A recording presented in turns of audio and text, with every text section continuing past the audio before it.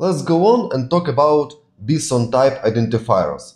Again, I will not talk about whole bunch of BSON types, I will just want to mention most commonly used of them.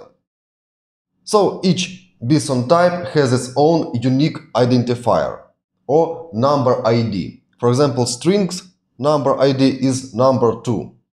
Arrays have number ID 4 and so on.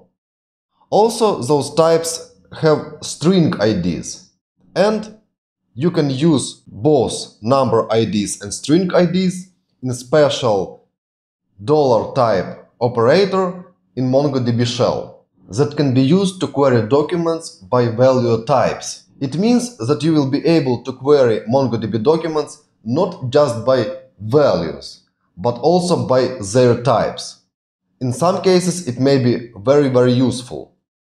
But we will get back to this in the next module. In the next section we will talk about object ID. But before talking about object ID, let's discuss what is the underscore ID and what is the purpose of underscore ID. See you shortly.